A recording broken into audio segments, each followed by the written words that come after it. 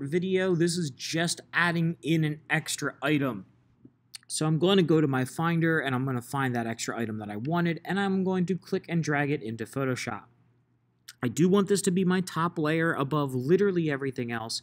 I'm going to move it relatively into some place that I hope it might look okay at. Then I'm going to hit return. I can take the move tool if I want to and shimmy it a little further if need be, but I'm satisfied right there. Now, to take out the background, we've got a couple options. You may have learned from this from another project. Um, we can take the quick selection tool and I can try to hit select subject. Let's see if it does a good job or not. It did. Wonderful.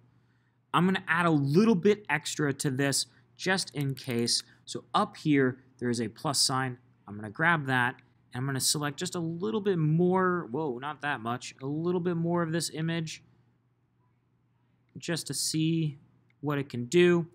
And then I'm going to go down to the bottom of my layer window, and I'm going to apply a layer mask to the obelisk layer. Perfect.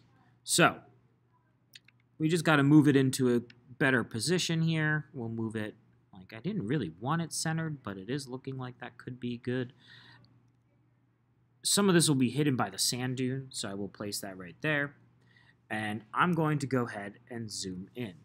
Oof. You can see all my prior edits are occurring each time I zoom in. This file is getting very large. So, down here in the bottom right of your layer, where your layers are, make sure that you're on the layer mask. I'm going to take B for brush. I actually want to bump my opacity up a good bit. So if you look here, I'm at 79. I'm just going to go in and erase parts to try to blend it into this, or figure out where this sand dune actually is. Decrease my brush size. It looks like the sand dune is right there. So now I can bump it back up to 100 and bring the obelisk back. Crop the side, trim it up. This little thing get out of here.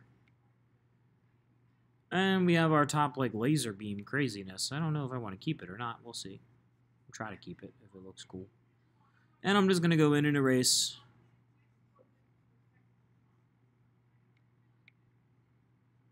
a little bit of it.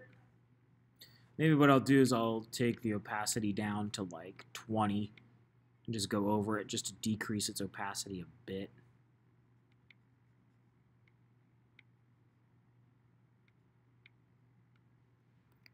Zoom out with command minus, and you'll see that the color's a little off, right? So we're going to go back to image, adjustments, we're immediately going to go to brightness contrast. I think we want to up the brightness and dim the contrast. Yeah, definitely dim the contrast.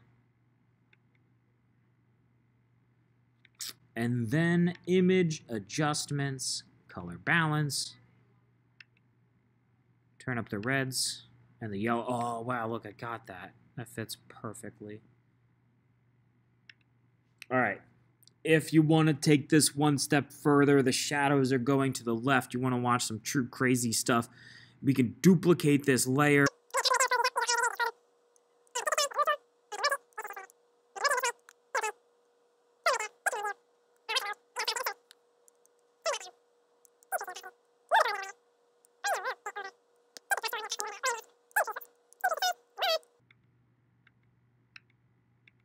We have a shadow for our obelisk.